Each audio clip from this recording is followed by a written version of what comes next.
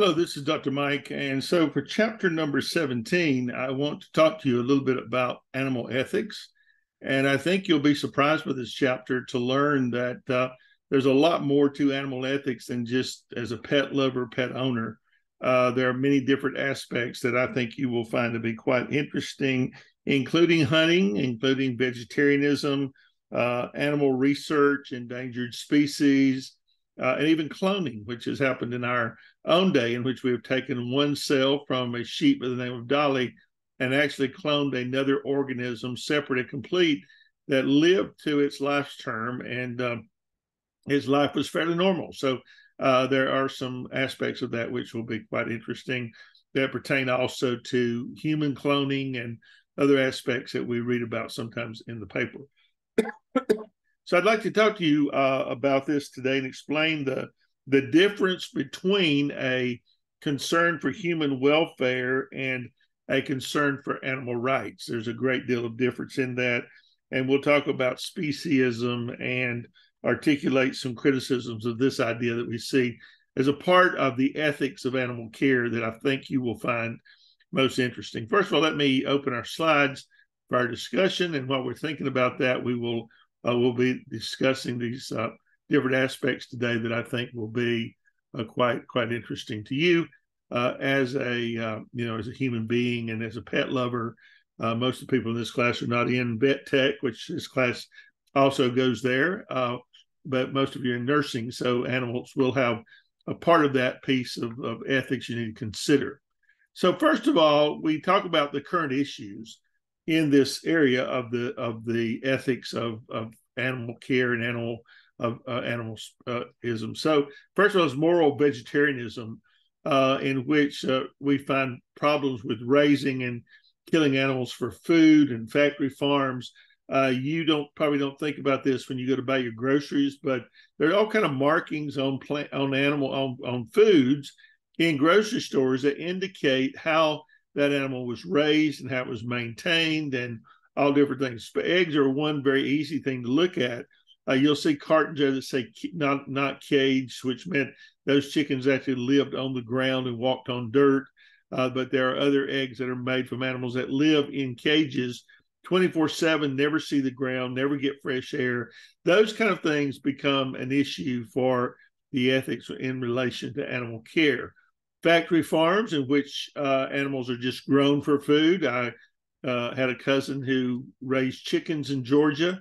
Uh, he had three chicken houses. There were 90,000 chickens in the house, and uh, they raised them in 30 days, which means they pumped them full of hormones. They super grew them, turned them onto the market, and sold it to customers.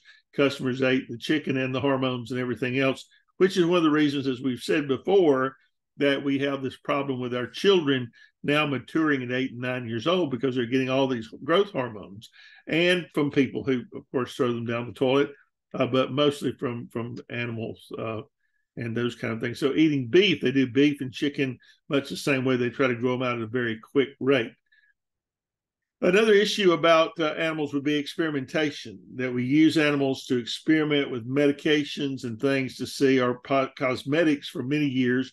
Cosmetics was at the cusp of this industry against animal abusing of animals because they used the cosmetics to see what the long-term effect were on an animal. But the the idea of, of experimentation is recently as the COVID vaccine, uh, we were using animals to test COVID vaccine. It's better than doing it on humans, and we do it, of course, on animals that are as close to us as possible in the genetic lineup, which would be, of course, a chimpanzee, which has almost the same number of chromosomes that humans do. So basically, as we look at this, we, we look at the different aspects of things being done, whether it's ethical, whether it's not. Then there's endangered species, uh, which we have lots of in this country, where species are literally disappearing uh, because of other invasive species, like the snakes in Florida. You hear so much about these giant Asian snakes that have been turned loose there, and they've now taken over the the uh, Florida Bayou, basically killed off all of the other smaller animals and working on the larger ones. They actually can eat deer and snake, uh, other snakes and alligators. And so these are some quite big snakes that they're finding there. But the biodiversity is being destroyed. That is, the habitat for all these smaller animals that have a place in the food chain and they have a purpose for keeping us alive on the planet. And we don't realize until too late that they're gone and we have nothing to replace them with. So uh, these snakes are really, really invasive and really moving. Uh, they found one in Georgia, one in South Carolina now that's apparently came from Florida. So we see those animals moving further north because their food is getting short where they are. So the question that we have to ask ourselves is whether animals have moral standing, whether they have intrinsic rights or, or rights in general, uh, whether they're on the same token as a human. Uh, there, there are actually religions that would argue that. Buddhism would argue that that animals and humans are very closely connected, and they won't do anything to an animal they wouldn't do to another human. So they're very much in line with their own teaching of their religion. Uh, but we do have certain ideas in ours as well. So, how do we approach animal ethics? Uh, there are different ways in which we uh, value animals. Some of them we look at it from an, a, an anthropocentrism, a, a human centered, they're here for our good, for our food, for whatever and then we look at it from the non-anthropocentric. They're they're here not for our good, but for the maintenance of the whole planet.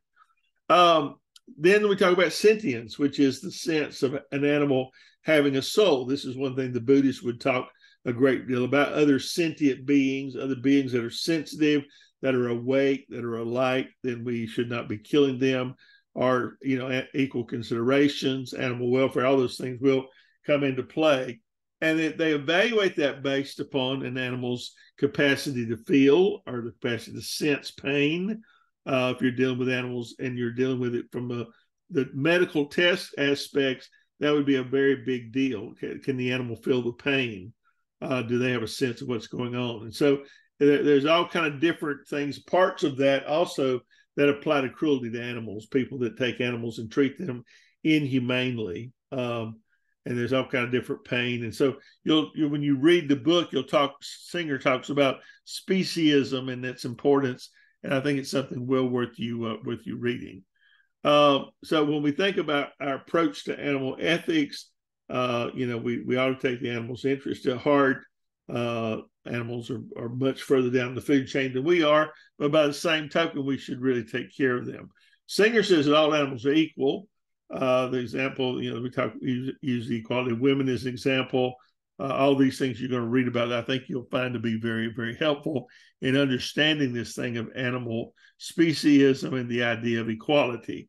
Uh, probably that won't get very far, uh, at least now in in our government, but uh, there there's a whole group of people that are interested in this very thing, and the plants being at the same level as human beings and I think you'll find that to be quite an interesting uh, argument. And if it ever gets to the Supreme Court, whether they vote on it or not, probably not, because that would be considered a pretty liberal idea. And with with conservatives in power, it probably would gain traction. But to let you know, there's at least people out there that are making the attempt uh, to do that. Last thing I want to mention to you is cloning. As I said, uh, they took a, a one cell.